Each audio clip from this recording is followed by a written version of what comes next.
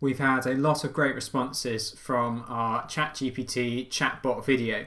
Um, and uh, quite a few questions around uh, using the API connection Bubble and uh, JSON safe and JSON syntax. Um, so I want to create a video showing how to use the text modifier formatted as JSON safe. And this forms a good follow-up video to our uh, ChatGPT chatbot video. Um, so to demonstrate it, I'm just going to add a, a, text label here uh, to understand everything that I've built here. Check out our uh, ChatGPT uh, chatbot video. Um, but diving in with this, uh, if I look at the multi-line input value and then I say uh, formatted as JSON safe, and then we preview that. You'll see that uh, as I start to type, um, it puts everything within uh, speech marks.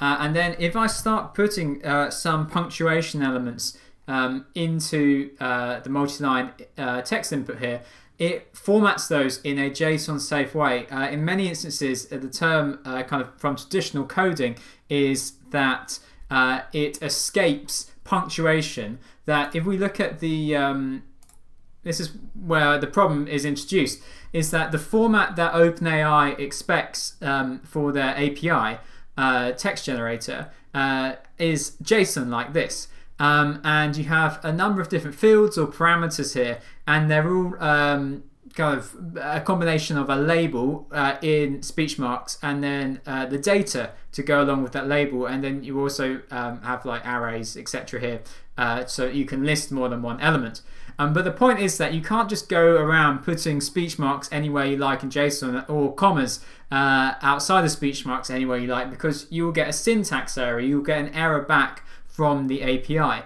Um, and so using uh, formatted as JSON safe is one way uh, to get around that. And so let's illustrate that here by saying, well, sometimes I do want to send a um, speech marks to OpenAI uh, because it might be a way of highlighting, uh, you know, you, you, could have a uh, summarize this text and uh, you'll want to send a colon uh, and you'll also um, want to send some speech marks. Um, uh, hello world.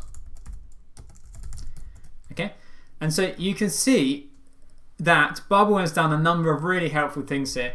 Uh, it has uh, added the uh, backslash n to symbolize the two uh, line spaces I've got, and it adds a backslash before the speech marks which are to be treated as speech marks and are not to be misinterpreted as speech marks uh, within JSON. Um, so this allows me to modify my um, initial workflow. Again, if you're unsure about any of this, go and check out the full video. Um, but I want to change this here to JSON formatted as JSON safe. But I also and this is where I've seen and it's caused me a number of headaches in the past. Um, put some. It gives you the speech marks. So at the moment, I'm going to get double speech marks here.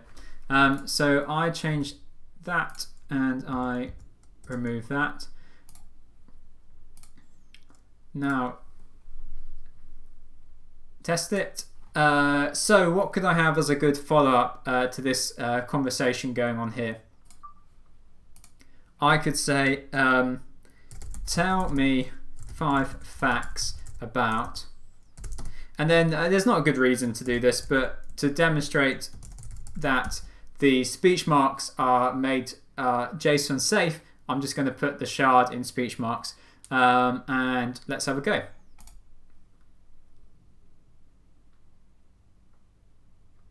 So we're waiting for a response from uh, OpenAI.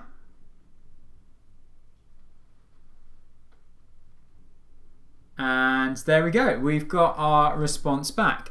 And I've not got an error. Uh, nothing has, has, popped up as a browser prompt saying that uh, OpenAI's API has returned an error. Um, so perhaps this is something that I should have included in my initial video to make uh, an even better demonstration.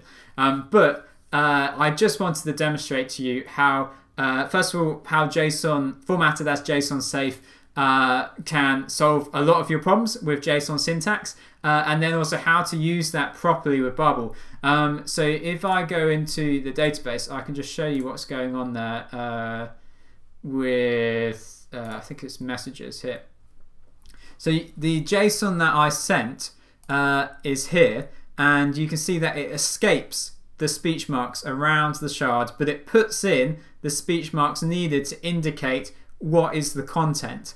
And so then if I go back into the API connector, we can see that as a message to go in my messages, uh, it's all correct. There are no syntax errors. Um, if you are getting additional syntax errors, do go into your database, check that uh, your punctuation is being escaped, check that you've got formatted as JSON safe um, correctly uh, and that there aren't any issues with it. And then I would also check what you've got in this box here, that you've not got a comma out of place. Simplify it all the way down to the bare essentials, get it working, and then begin to add in extra parameters, extra messages. Uh, if you've got a question about using the OpenAI API bubble, leave it in the comments. Uh, we read every single one of them.